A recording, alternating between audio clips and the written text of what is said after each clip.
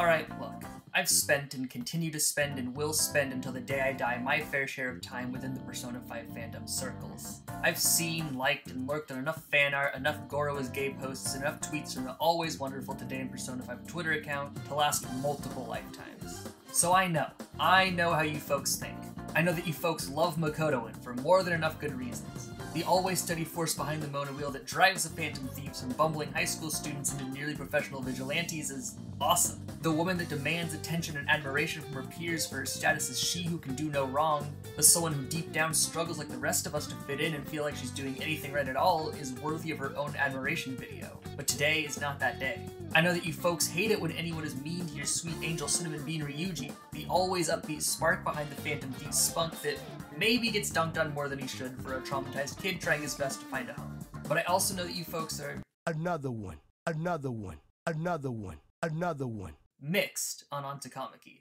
I get the Ann Takamaki disdain from the dissenters because on the surface level, she is someone worthy of that ire or annoyance. The blonde bimbo with a heart of gold and a brain without wrinkles is the first Shujin student we meet, and someone who fights by her side from the first palace on through the next 120-ish hours. If that air-headed, traditionally petty but vain caricature was all we got, it would be grating from the first moment she steps into Kamoshida's car, from the last moment where she's driving away from the train station in Persona 5 Royal, or personally seeing us home in Persona 5 Vanilla. And to be fair, it's easy to see Ann in this light because, through multiple instances throughout the game's monstrous runtime, that caricature is how she presents herself to anyone stepping into her bubble. She uses that persona as a crutch when she wants to and as a weapon when she has to through her comedic relief acting moments to her self-preservation when trying to adapt to new acquaintances and new surroundings. But the reason we see this side of this character so much isn't that there's nothing more to her, in fact I think it's the opposite. These actions are born out of necessity and trauma, just like the behaviors of any of our Phantom Thieves. But they're not signs of a woman still struggling to find her place in this world, they're those of someone fighting as hard as she can to turn the world into a place she knows it can be.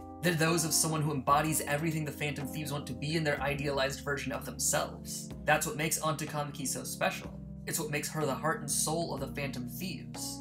It's what makes her someone deserving of your love. But to truly understand what I'm talking about, we have to go back, all the way back, before the events of the game even kick off. Because most of who Ann Takamaki is through the first arc of Persona 5 happens off screen. And the biggest implied point you need to know about all of this is that Ann Takamaki is kind of alone. Ann is different from any of the main characters you meet in Persona 5's opening arc. And really, she's different from any of the Phantom Thieves we'll meet down the road, with the exception of our main character, in that she is truly self sacrificing. Not just by her actions. If you want to break down semantics, every one of the Phantom Thieves, just by the course of laying their own lives on the line in a world like the metaverse, is a self sacrificing soul whether their actions of vigilante justice are good for the world or not. The act of putting her entire life up for the taking, in circumstances that are so abstract that most of the world wouldn't even be privy to the details of how she died, is noble by definition. But more so is her willingness to do the right things simply to do the right thing for no better reason than it being the right thing. Ann is kind.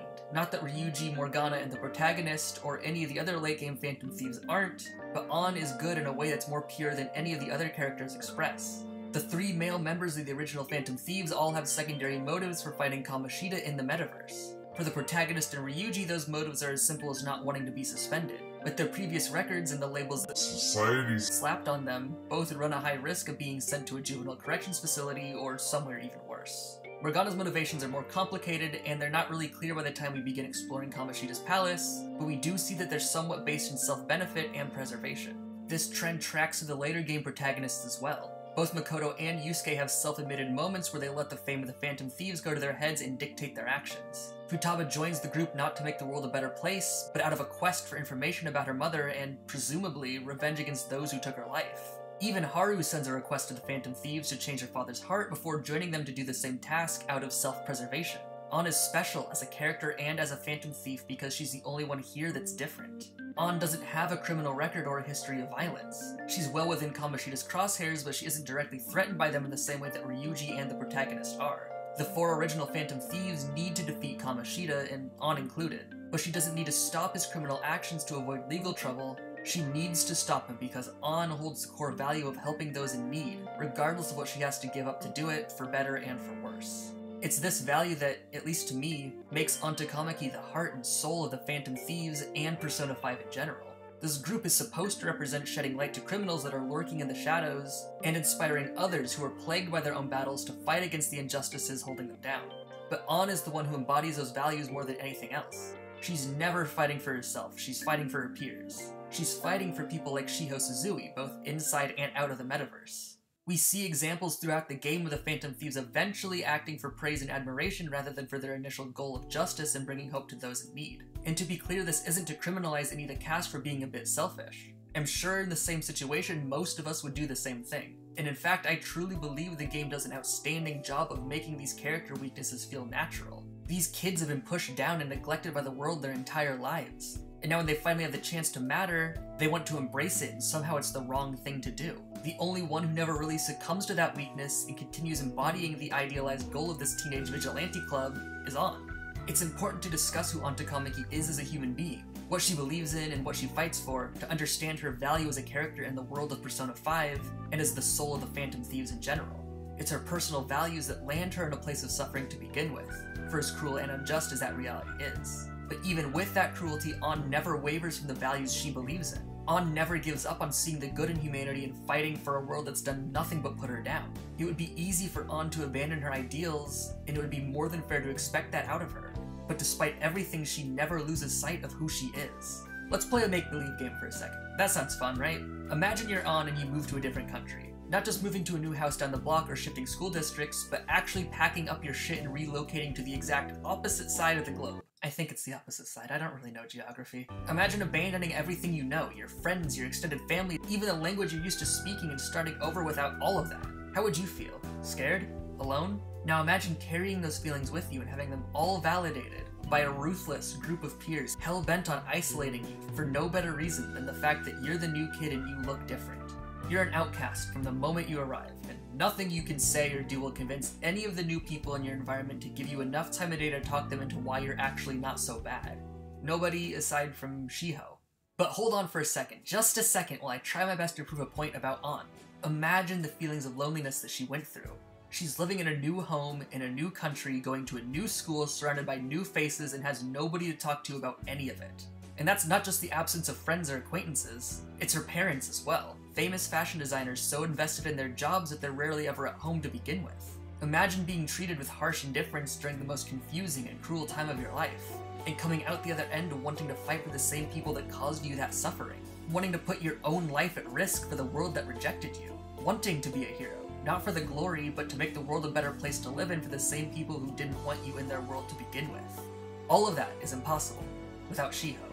Now keep imagining for a second that you're Ann. We are so close to proving my point, I promise. Imagine being forced to give up your life and start a new one that you didn't ask for at a young, impressionable age, and having that new life not just be worse than the last one, but nothing more than a glorified isolation chamber. Imagine existing in that darkness and the resentment that has to come with it, not just toward the world and people around you, but toward yourself. Why can't I be loved? Why don't I deserve it? Then imagine someone offers you a light. Shiho sees Ann not just as a human being deserving of love, but of every bit of who she really is. She's someone that gives Ann the hope to keep going, someone whose mere existence is enough to make Ann's better. She's someone that makes Ann realize that there is good in the world, that there are people decent enough to fight for. In so many ways, Shiho is Ann's entire universe prior to the Phantom Thieves. And in so many ways, Shiho is the reason that Ann built the personal ideals that she keeps fighting for throughout the game. Shiho's importance to Ann doesn't change once the two of them reach high school, but Shiho herself changes. One of the reasons that Shiho and Ann work so well as friends is that Shiho is equipped to understand Ann's pain on some level. All Ann had for years was Shiho, but that relationship flowed both ways. Shiho herself grew up relying on Ann too, but without too much else. At least one functioning parental figure at home that we know of, but at least from Ann's perspective, not really any more friends. Shiho herself probably felt scared and alone before Ann, the same way the future Phantom Thief felt. When we meet Shiho in Persona 5, we see her at what's close to her lowest point, or at least the build-up for what would become her lowest point. Those feelings of negativity likely began before Shujin, but were amplified in the hands of her abuser, volleyball coach Suguru Kamoshida. We later find out the extent of Kamoshida's actions physically abusing his students, and emotionally manipulating all of them to think so little of themselves that they wouldn't fight back. Shiho wasn't lucky enough to avoid Kamoshida's ire, and with his heartless actions, he turned a sport that was once a safe space for Shiho, someone who desperately needed one, into a source of her trauma. Shiho doesn't talk with Ann about any of the abuse, making up stories rather than admitting any of it. But Ann, the kind person that she is, sees through that veil enough to detect something is off with her best and only friend.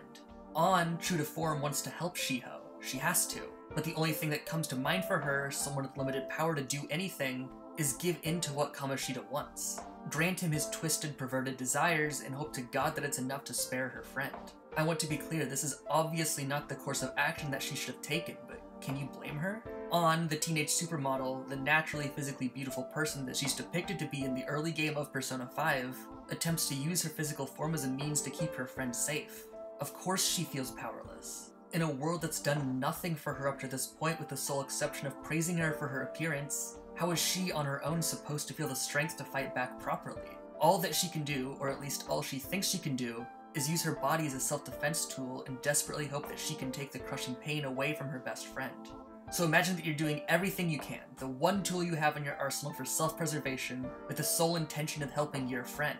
And rather than sympathy, the world that spent years shunning you finally begins to take notes and forming all the wrong ideas. When they find out you're giving into Kamoshida's advances, the man responsible for taking the joy from your only friend, just to do everything in your small modicum of power to help that friend by diverting attention away from her and onto you, they label you. They shift their indifference towards you to pure hatred, and all you wanted to do was help because that's all you know how to do.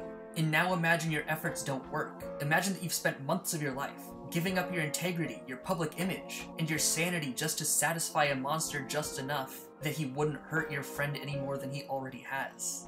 Imagine the acts you've taken, the sacrifices you had to make that turned you into an outcast and brought you a world of your own pain and trauma. The indignity you had to suffer at the hands of someone who knows they can manipulate you by threatening your friend only ended up making things worse. Imagine that now, after moving to a new country, being greeted to that country with oppressive indifference, making one friend and doing everything you can to protect that friend, your efforts are not enough. Imagine this monster driving your only light to the point where she attempts to take her own life. Finally, imagine that just hours after your friend's attempted suicide, you're introduced to the concept of the metaverse. You quickly learn what it is, and that the depiction of you within Kamoshida's corner of this hidden dimension is a caricature of your failed attempts at heroism. Every central character's awakening in Persona 5 is different. That's one of the things that makes them so special. Despite the power and the process being similar, the way we reach this point is different for everyone. For Ryuji before Ann, it was the defeat he felt when confronted by his tormentor and reminded of his past trauma. But for Ann, the moment of her awakening doesn't come because of a reminder of her past pain, it's an acknowledgement that people see her for something that she's not. It's the feeling that she fought as hard as she could for her one and only friend and failed. It's the feeling that now, in a world that did everything in its power to prove it to her earlier, she is now completely alone. Ann spends the first few days of Persona 5 and presumably countless more off screen, crushed by this image. She feels like a pariah, someone who sacrificed whatever marginal chance she had at fitting in with her peers by trying to save the one person that saved her. Ann every time we see her, shoulders this heavy burden as bravely as she can, but it's just too much to take. The moment of Shiho's attempted suicide is the boiling point. Ann Takamaki is defeated by the weight of Kamoshida's actions and the oppressive loneliness she feels on a daily basis, until she earns the strength to fight back. I hear you, Carmen. You're right! No more holding back! There you go.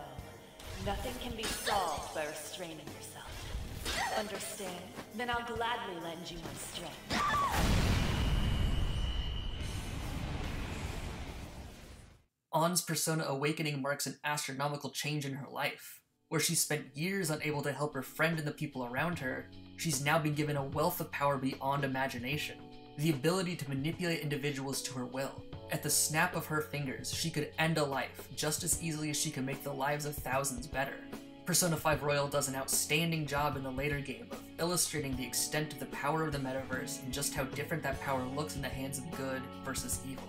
We see most of those examples through the eyes of the protagonist and Akechi, but for me, the best time this comes into play is this scene right here. Ann has every reason to be angry. Ann has every reason to want to hurt this man, this monster, who nearly took her best friend's life and drove every drop of joy out of Ann's. And now the roles are reversed. Now Ann finally has the power. not just to get Kamoshida to stop his ways, but to inflict a punishment that she can't take back. Ann has every reason to want this, to want to take Kamoshida's life, to seek vengeance for everything he did to Shiho and dozens of innocent victims who came before her. And deep down, on some level, I truly believe that she does want this. But instead, You have that right, since you've won. Ann! If his mind shuts down, he can't admit his crimes. she spares him. Avoiding devolving into a killer is not a trait unique to Ann, but this moment here puts a perfect bow on everything her early character arc has led up to. When Ann finds out Shiho is in pain, she wants to help. When Ann finds out about the metaverse and the fate facing the protagonist and Ryuji, she wants to help. When Ann has the chance to take the life of Suguru Kamoshida, she spares him because she wants to help. Ann Takamaki wants to help. She needs to help because to her core, this is who Ann is. Despite her isolated upbringing, the torturous loneliness, and the cruel labeling she endured, Ann still needs to help people. This is what makes her the heart and soul of the Phantom Thieves. The Phantom Thieves have the idealized goal of wanting to make the world a better place, but Ann is the Phantom Thief that lives by it as a principle. The Phantom Thieves get lost in the fame, celebrity status, and acceptance that becoming a real life superhero brings, but Ann is the Phantom Thief who, time and time again, no matter the circumstances, always brings the conversation back to making sure her actions go towards helping people live better lives. It bears repeating that, of course, every Phantom Thief is pure of heart and self sacrificing. If not by their actions alone, then by the reasons that each of them keep fighting through hell and back to be Phantom Thieves. But Ann remains this group's motor, the person who keeps them tethered to their idealized goal, whether anyone on the team realizes that or not. Ann believes in humanity. Ann believes in helping humanity because Ann understands humanity better than anyone and realizes that people are worth fighting and sacrificing everything for. Ann to Takamaki is the heart and soul of the Phantom Thieves. Everything she's lived through, every heartbreak, every moment of levity, and every failed and successful attempt at helping, truly helping those in need, prepared her for this all important role. One that Ann wears like a badge of honor and embodies to perfection. Whether she, or anyone else in the Persona 5 fandom, realizes that or not. Ann Takamaki is everything that the Phantom Thieves should be someone who truly wants to make the world a better place. Someone who is willing to sacrifice everything for that goal, and more than anything, someone who just wants to help. Aside from her bond with Shiho, there is no reason that Ann Takamaki should be like this. She should not have her passion, her love for the world, her connection with other people after everything she's endured, but she does. While the rest of the Phantom Thieves fumble in social situations, it's Ann who always finds a way to cut through the clutter and connect with the person underneath the noise. Ann is the emotional charge behind a group that's so often without one. Ann is the levity and joy to a group that could so easily be crushed by their shared trauma. Ann Takamaki is the heart and soul of the Phantom Thieves and of Persona 5. Discord notifications ruining my voiceover. God damn it! Shiho, Shiho, Shiho, Hiho. Reading is hard. Thief fell, thief fell, thief fell. This is obviously not the course of action. What are you? Why are you clawing at my wall for? On, on, on.